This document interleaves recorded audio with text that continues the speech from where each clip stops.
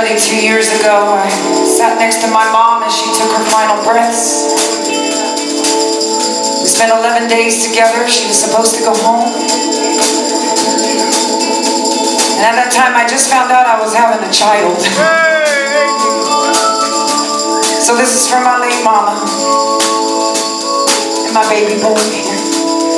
Mama